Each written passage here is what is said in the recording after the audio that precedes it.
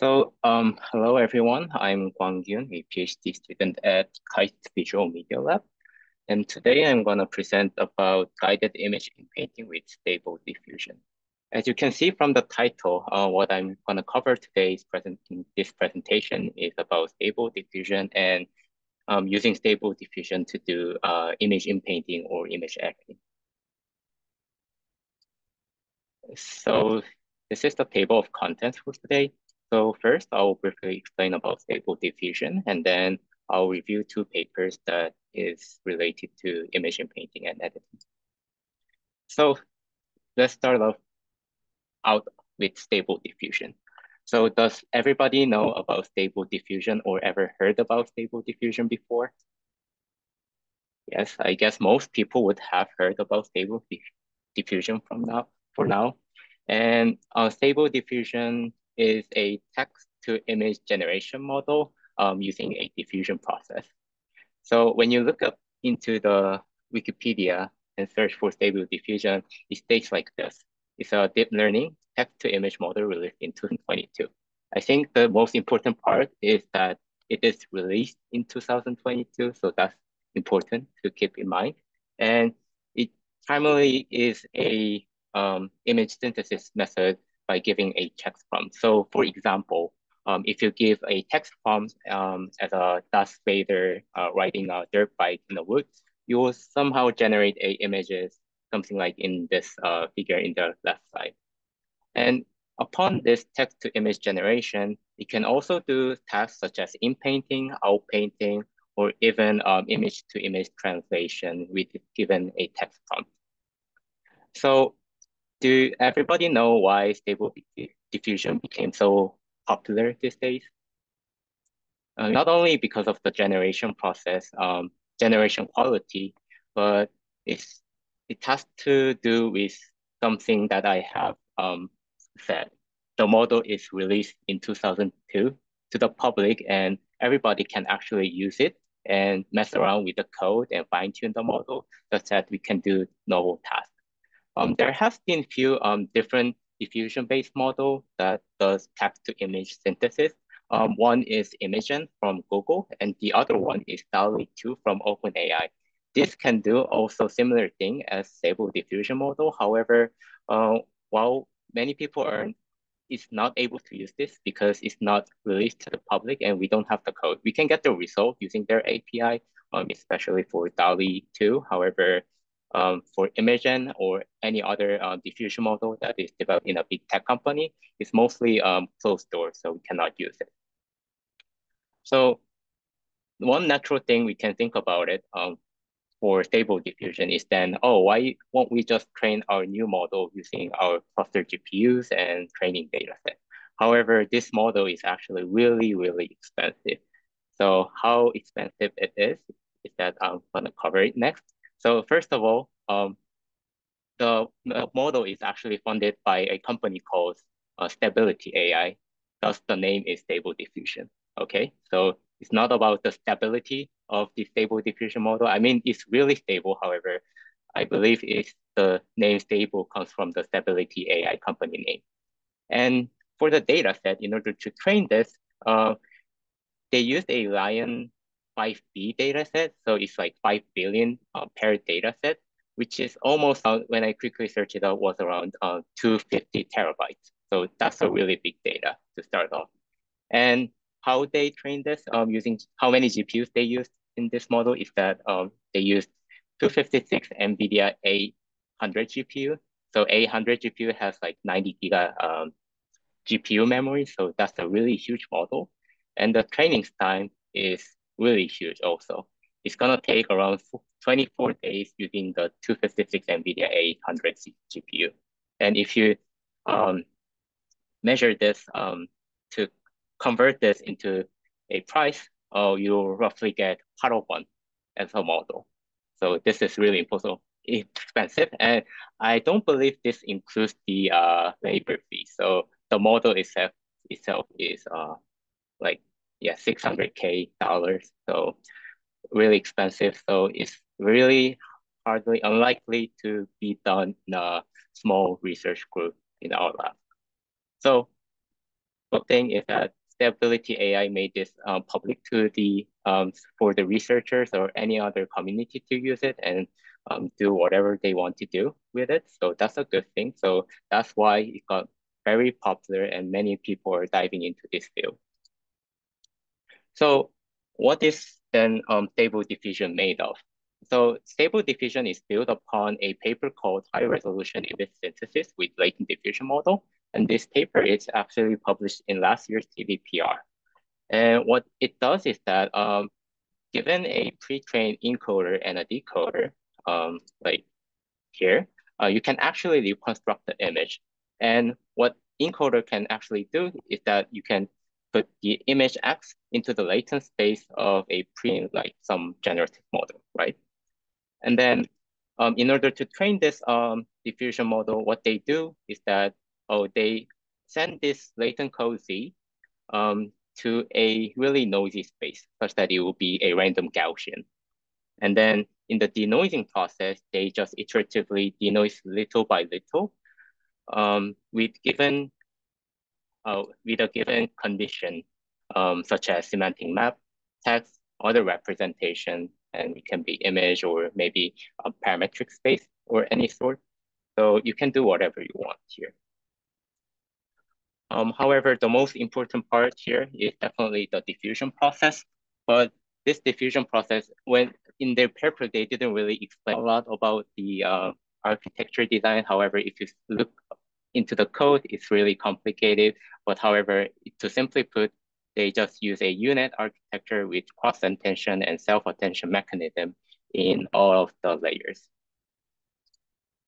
All right. So after training this model, uh, what you can um, simplify this diagram into like this pictures. So given a text prompt and a noisy latent code, noisy latent code, you can you pass it through the U-Net uh, with a time step t, and do this for capital T times, and then pass it through a decoder to generate a um, image here. So this will be like unrolling those um, diffusion process here. And then you can actually uh, fine tune this model to do in painting task where the, the previous method is just unconditional. So you don't know, you don't have a uh, guidance of what the geometric structure would be except for the text prompt. So what you can do for inpainting task, you take the uh, pre-trained model from stable diffusion and then put additional uh, input in the uh, into, into the U-Net. So here, since it's a in-painting task, you have to preserve the uh, background information. You give a mask image as an input also, and a, a mask that needs to be filled out by the diffusion process.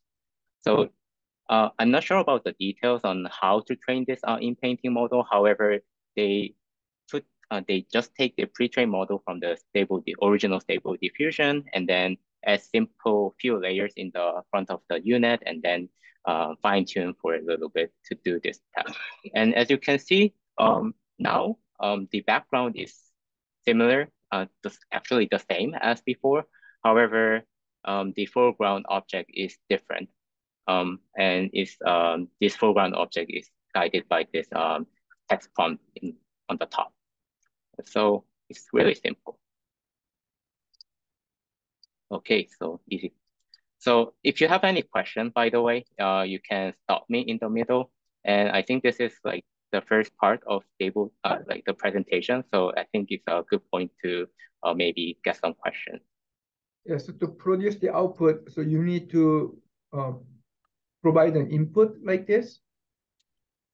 So what is oh, yeah. the input image does not contain the dog here? Sorry, the, what so if it, the input? Yeah, is it required to uh, provide an input uh, such a way, uh, such an uh, image as an input? Um, for the in-painting task, um, yes, you need this uh, four input like text prompt, mask image, mask, and the noise. Uh, maybe it could be uh, three because you only need the original image and the mask and then the text. Yeah. And for the unconditional JSON model, um, you actually only need the text prompt here. Uh, okay, okay. Uh, so if you go back to the previous example again. Uh, yep, yep. uh, okay, so here dog is pro provided, but then the user wants to have a, a face of a yellow cat. Okay, but then uh, sitting on a park bench is remain the same, right? Yep, that's correct. Uh, yeah, so should it match? I guess that was my question. Uh, oh, oh, the contents of the original background oh, image uh, and uh, the uh-huh. description of the. Uh, yes. Okay, so yeah, um, to perform to get good results, it usually have to match with the original like scene description. However, you don't really have to put um, sitting on a park bench um, to say, but you might get a different result or you might even get a good result. It's just random chance, but usually um, when you train this diffusion model, um, the text prompt and the given image are usually paired. So it's better to have a really good scene description. And that's one of the uh, main bottleneck of these text uh, guided image synthesis method, you have to have a really uh, long sentences to get good results or engineer those sentences to get good results. So in this case, for the inpainting uh, task, can I simply say, I like to have a yellow cat instead of a dog? Yep, um, that could happen and that would actually synthesize a yellow cat. Yeah, so. But it wouldn't be, it might not be sitting on the bench or even if your input image is, is a bench in the park? Oh yeah, the bench will be synthesized and inpainted. However, the cat might be located on top of the bench. Um, so since we define this um, text prompt as a sitting on a park bench, um, it's highly likely to put the cat on the uh, sitting area. However, if you just put cat, uh, I believe one possibility is that the cat will be sitting on the uh, it's not the head part, but like the upper part of the bench. Yeah, for, for this um inpainting task, mask is provided. Mm -hmm. So the, the that means the sitting area for the cat will be already implicitly determined. So starting from yeah. the mask, yeah, masking area, it will be mm-hmm. located there, I assume. So in this yep. case, since the background information is already provided in the image, so do we have to provide the uh, background information in the text? Because um, even if you don't provide it as a text, the mm -hmm. the image background already contains information. Yeah, that's true. Yeah. So you don't really have to uh, provide the uh, scene description. Okay. okay. I think uh, um it, yeah. Go ahead. Uh, I have a question. So it, it is kind of, what is it? Um, how do I say, evaluation task? Like, how, how do we get the result? Well, we're gonna use like, okay, inference task maybe. Uh, I'm just curious about like, uh, in this condition of like training, is not it kind of uh, high possibility that even though the bench is generated based on the condition image, but the, the bench might be the different shape from the original condition. Is it happening? Um, the details might be a little bit different, but usually the geometric structure is really similar to the original uh, background image. So I'm just curious about when I see every diffusion paper, how do they optimize the result? Like in previous convolution-based method, they are using loss terms to compare maybe in some kind of unpaired condition or in paired condition. But in this procedure, uh, like they're not use much, what is it, optimization procedure. Uh, even if even the other papers, I, I just see that they are relying on the pre-trained performance and uh, they're not using much loss terms as the result image. Uh, do you know the reason why? Like, so today I'm gonna cover one method that just you pre-train diffusion model and another method that actually uh, fine-tunes the diffusion model. Uh-huh. So one reason why, as I said, um, in order to fine-tune the diffusion model, you need a really huge cluster of GPUs. Okay. So that's a first of all really huge bottleneck, and then usually uh, for this kind of guided task, you uh -huh. need mm-hmm. to have you need to uh, somehow gather or synthesize like a paired data set.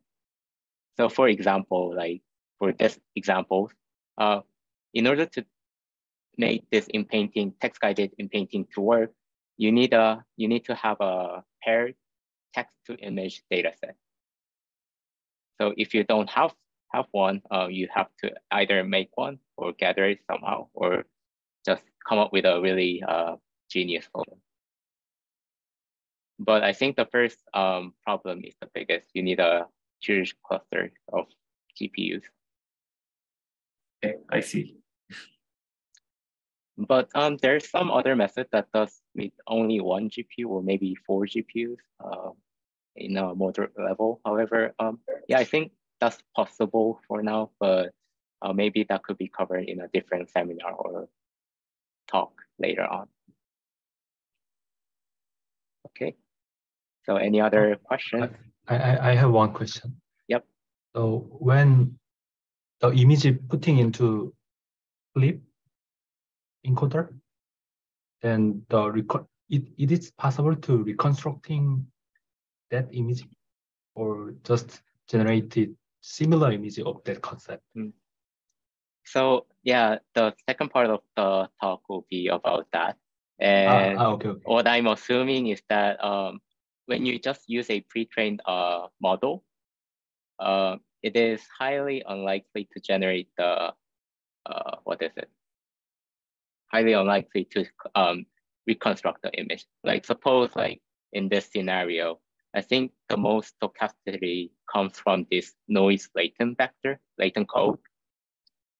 And this just does this uh, text prompt or since it is clip, you have an image encoder and you can put images. However, first of all, there is like a slight difference between image embedding and text embedding. So that's a little bit of problem. And the second problem is usually the diffusion, like denoising diffusion process where there has a lot of stochasticity. So it wouldn't likely to generate um, reconstructed images just using by putting the image into the clip encoder. Thank you.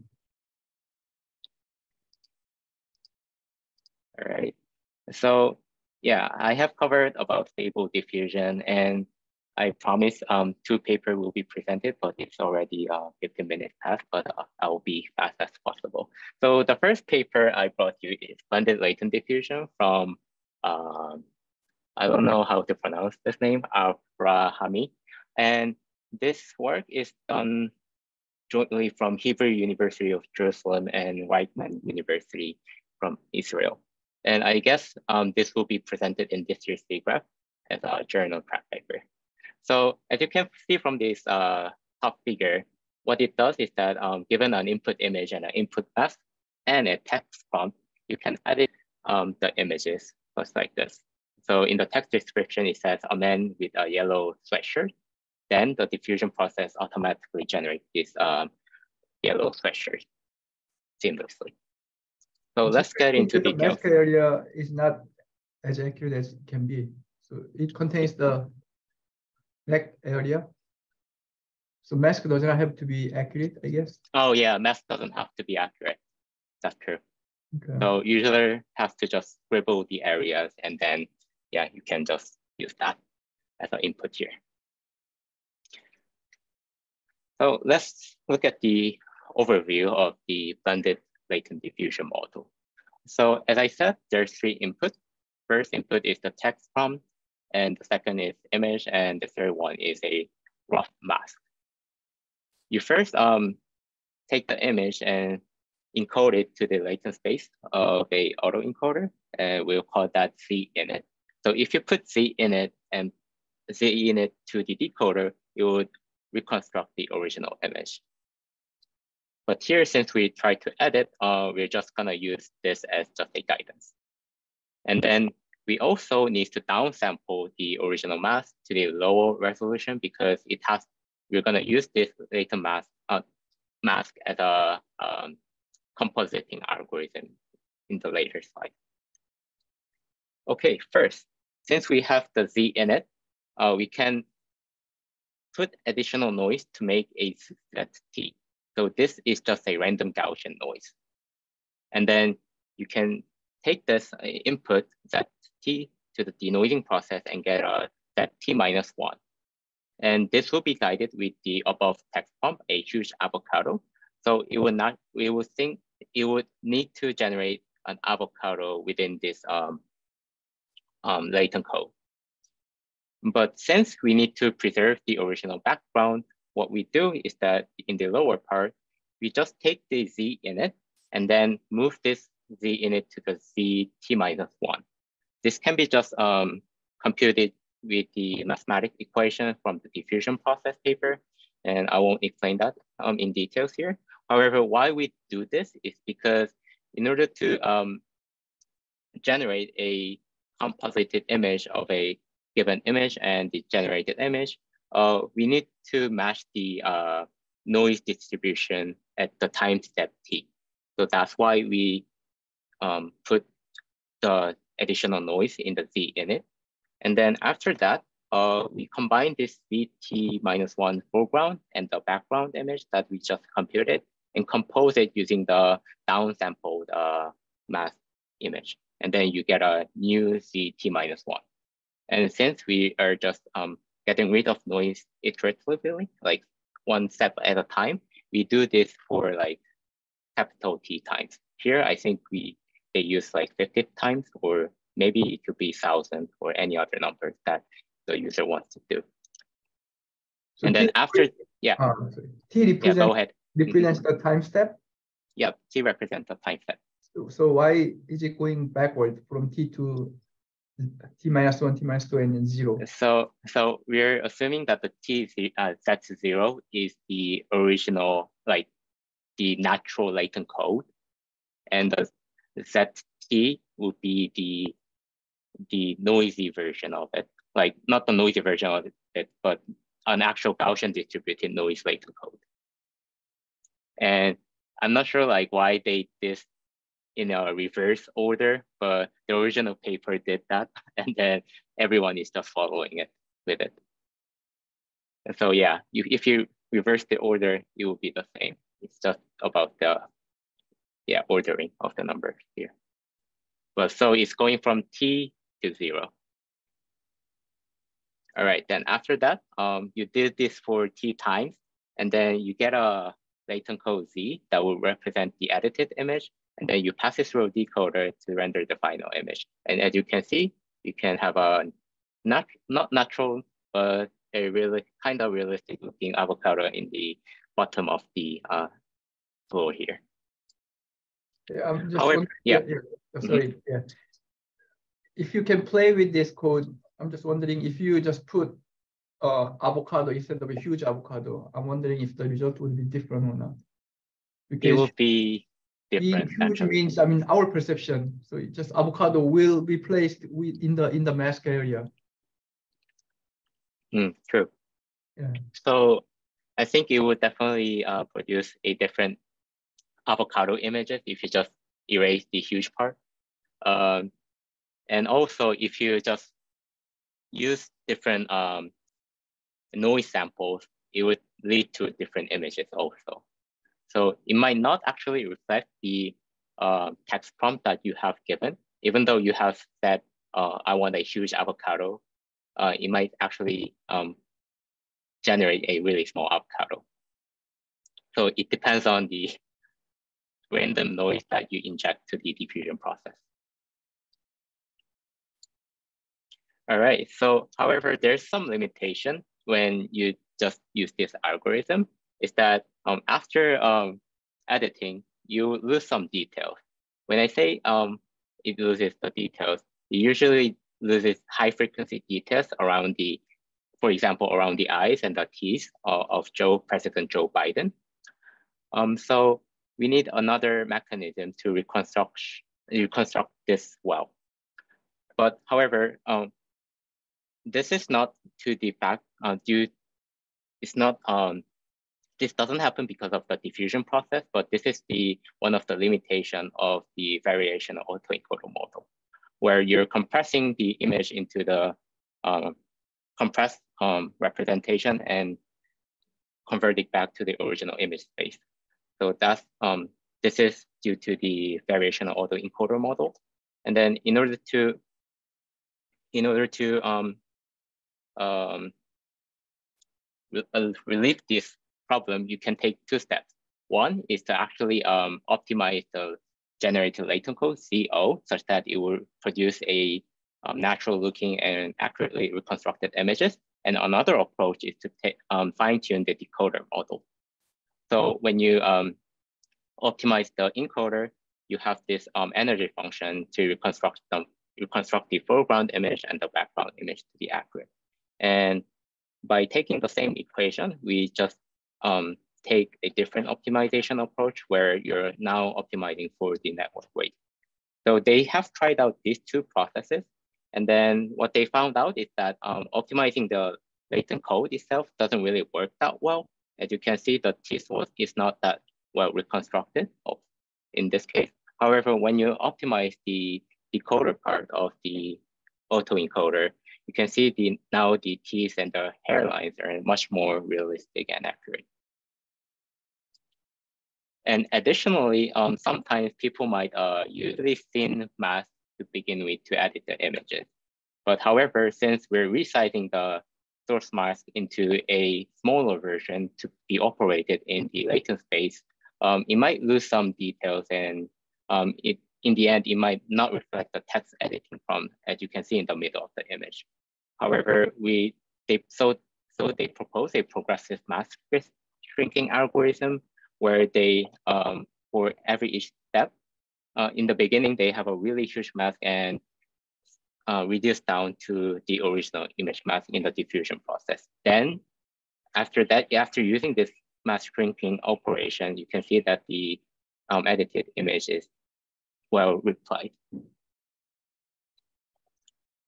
So to sum, to sum up, um, in the blended latent diffusion model, um, they have proposed um, three three um, contributions. The first one is to use a algorithm to, to guide the denoising diffusion process for the editing. And the second one is for accurate reconstruction or of the original content. And then for handling the thin mask, they propose a progressive shrinking um, of the mask. Um, yeah, to do it. So here's some results. So given the input image in the left um, and the mask on the second column, you can generate um, the editing results.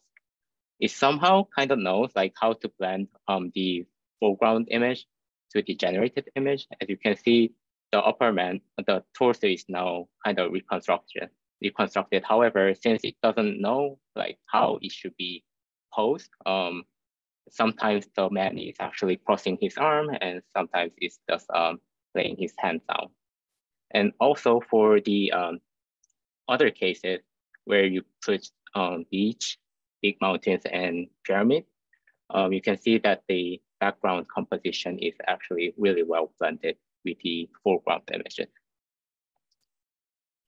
And here's another result. Because I said that the latent, uh, the, in the diffusion process, we can inject random noise.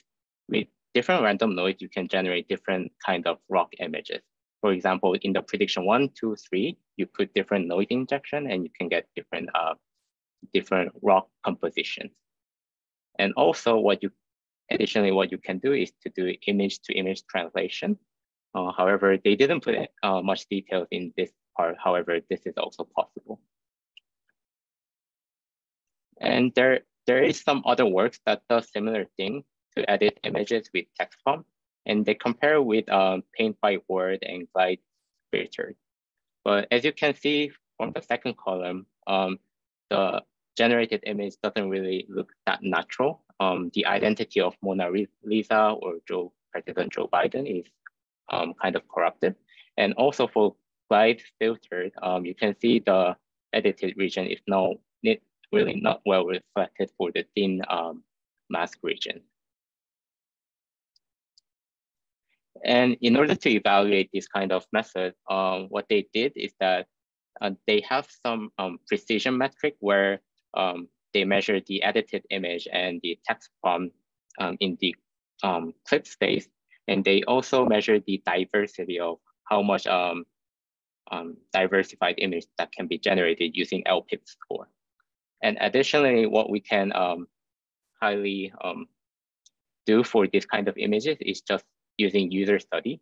and they conducted user study with the perceptual metric and text image matching. So for the perceptual metric, what they're measuring, what they're asked for is that um, they're asking the user to um, test whether, um, measure whether this image list looks natural or not, and they're comparing with their method and the other method.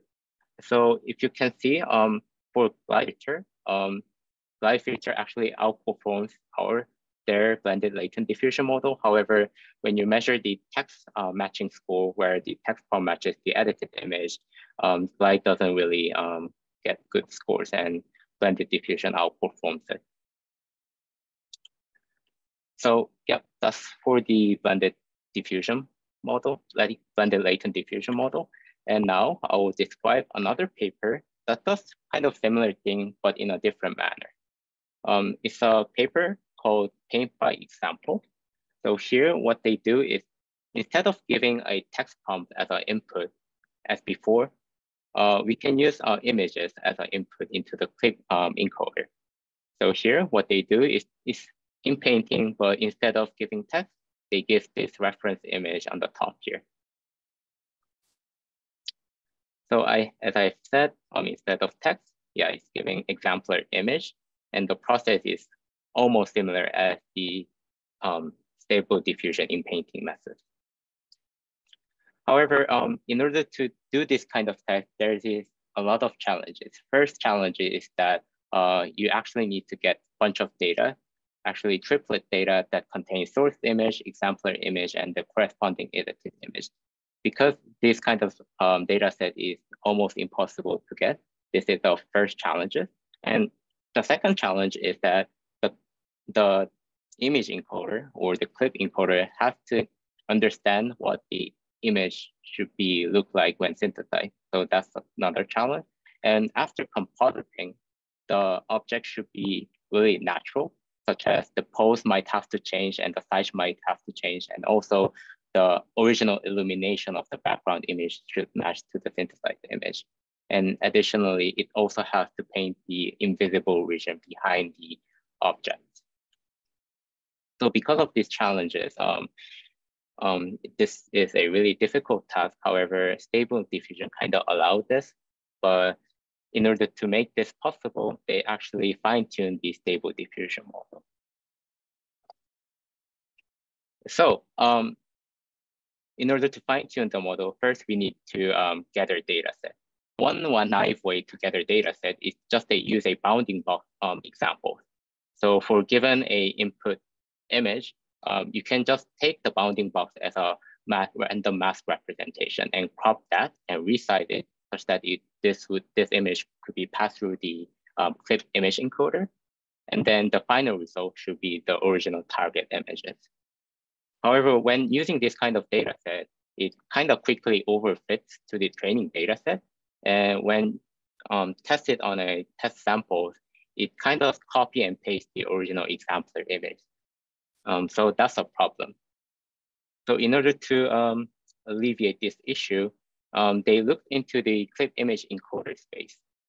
Um, when you embed the image using clip encoder, it actually can, it produces one class token and uh, 256 patch tokens. So they assume that um, this these um, tokens are too much information such that um, it, the diffusion process kind of cheats um, the training process. So in order to alleviate that, they just add a really strong bottleneck in the clip encoder.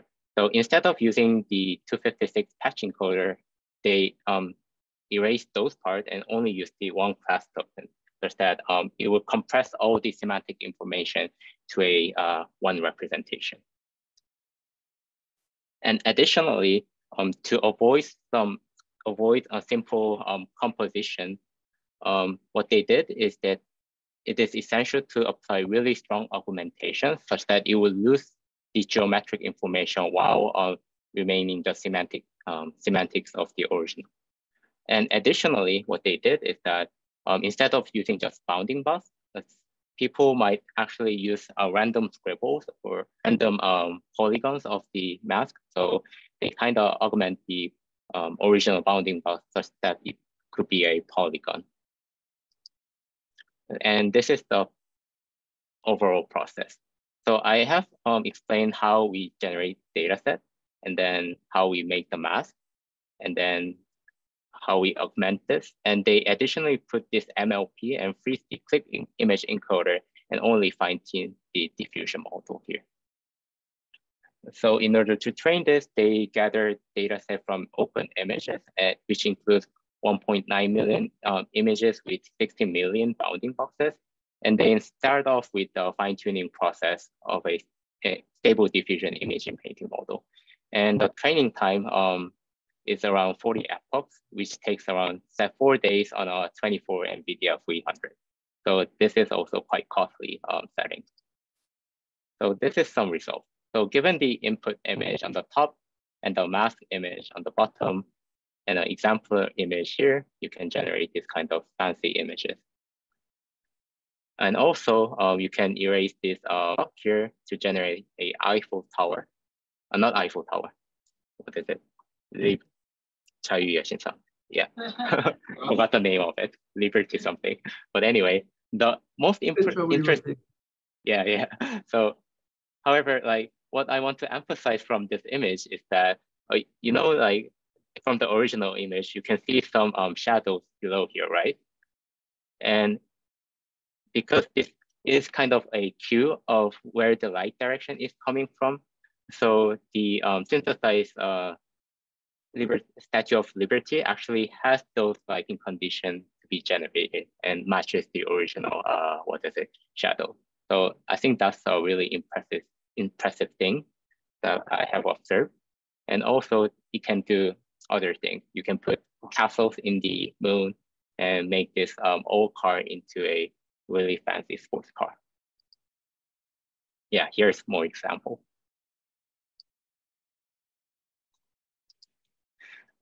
And um, they compare with other um, baseline methods.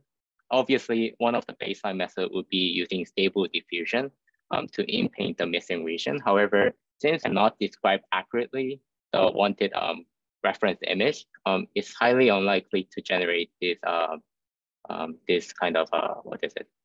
Um, uh, yeah, target target reference image. And also they compare with image harmonization method. However, since image harmonization doesn't really change the overall structure of the geometry and doesn't like cast shadows or lighting, um, this looks kind of unnatural and other methods also kind of fails. Here, um, they actually measure the FID score and QS score, and QS score actually measure the real list of the images, and the clip score just compares the um, exemplar image to and the synthesized image in a cosine similarity. And you can see um, compared to other baseline method, um, paint by example method outperforms the all. And this figure shows some um, ablation study of the method.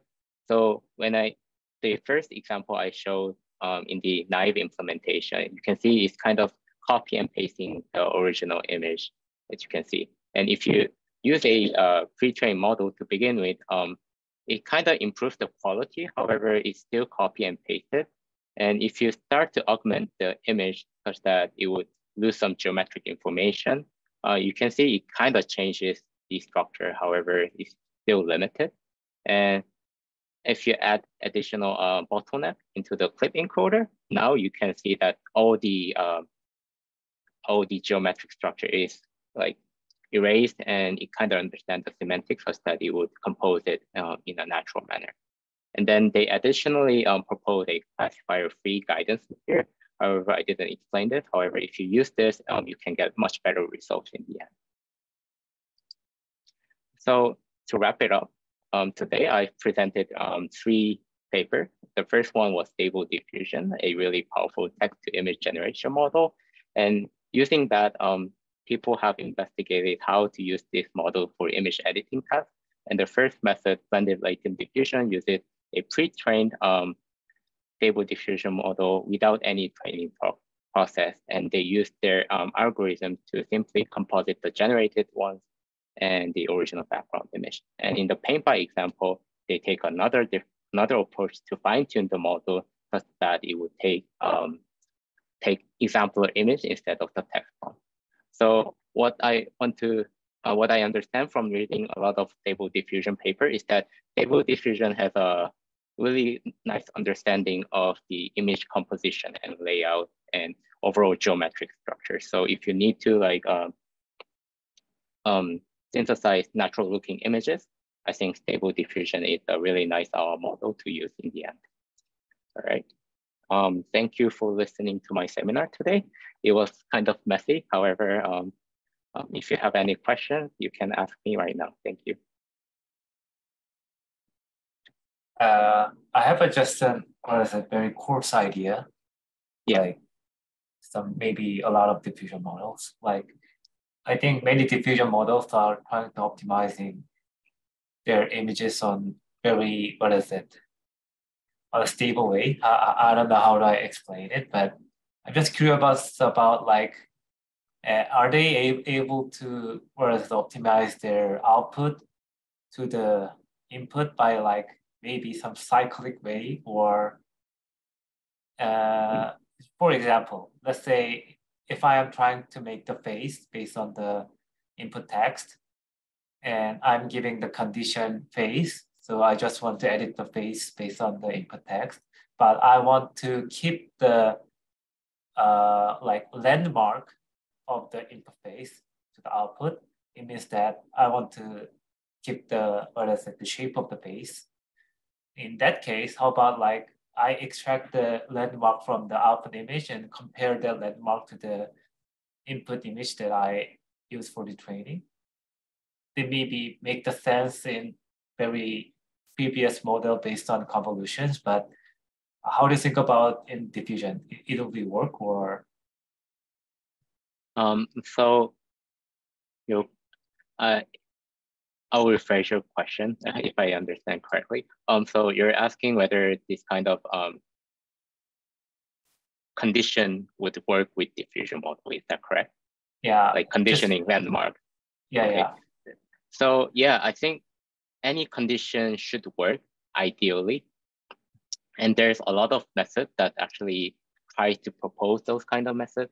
Like I think one of the like most popular method that was proposed was called ControlNet, where they can put any control um, Ah, like okay. It, was not about the question about ControlNet because, uh, like let's say, uh, like ControlNet is like uh, implementing the condition to the input task and try to make the result uh, influenced by the condition. Uh, uh, my question is that like uh, not using the additional condition, like let's say if I only have a, just one input and I just want to make the model to keep the shape of the input, but in that way, uh, like we know that we don't have a exact ground truth, but in some cases they are making the exact ground truth by making an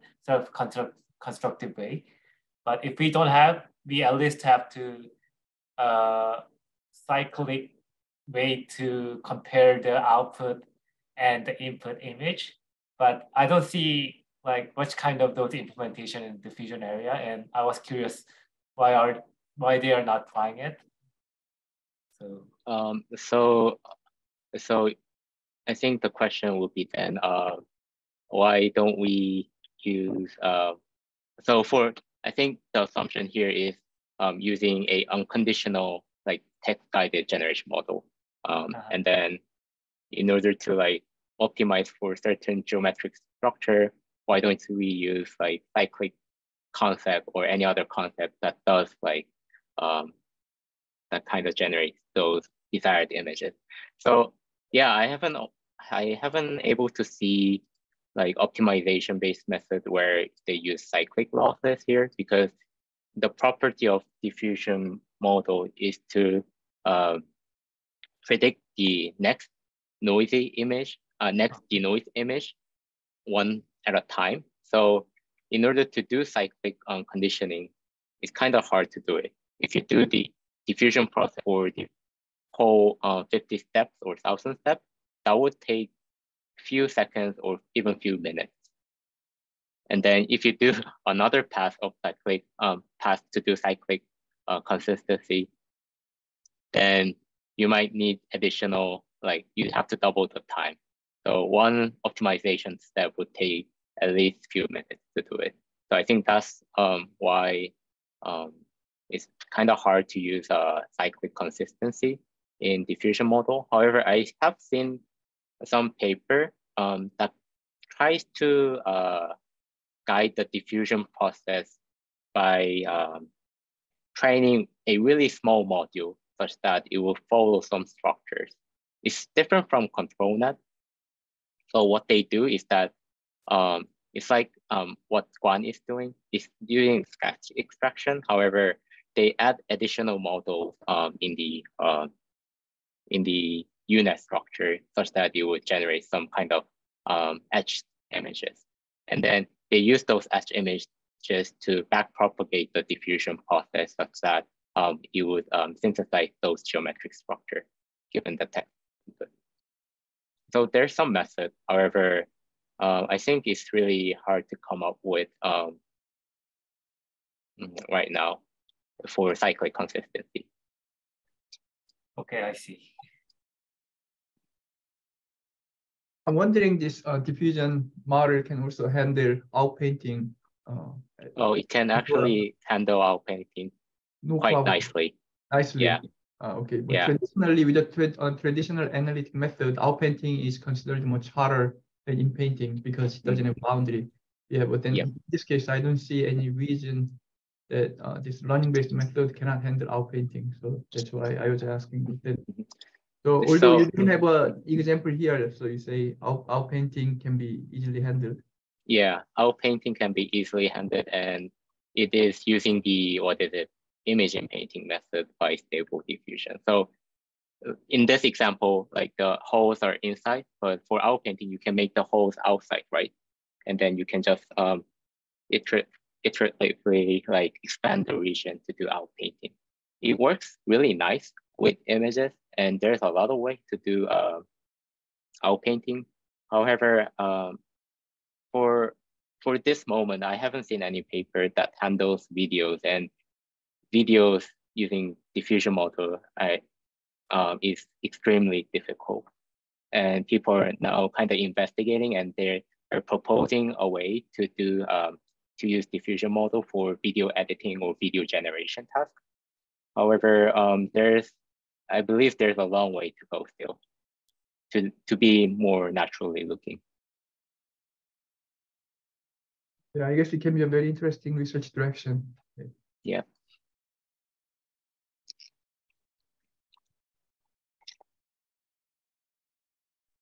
Any any other question?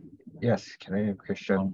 Um, I think this is quite awesome to like um, um, the global illumination or image layout. Um, how is it possible?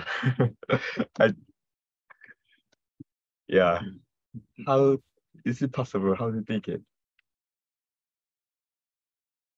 Uh, the short answer would be this figure. How where is it? uh, the short answer is cost you got one. yeah, because um yeah, to be more um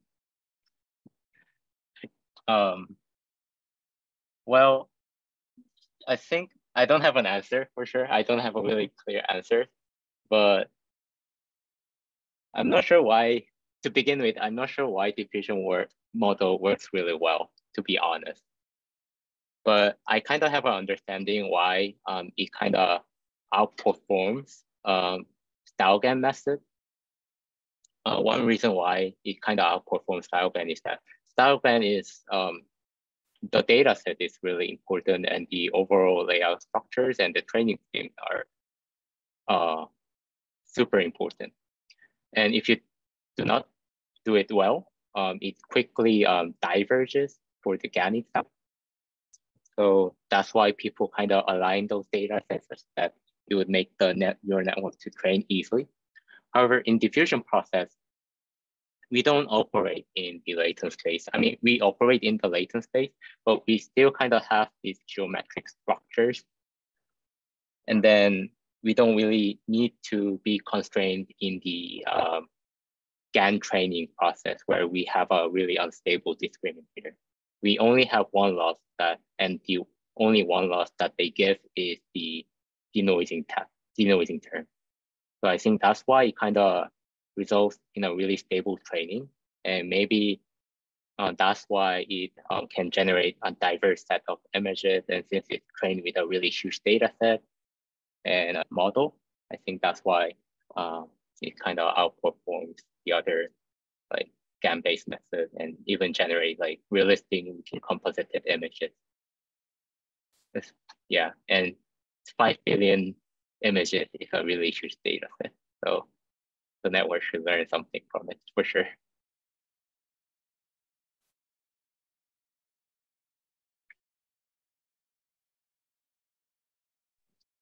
Any other questions?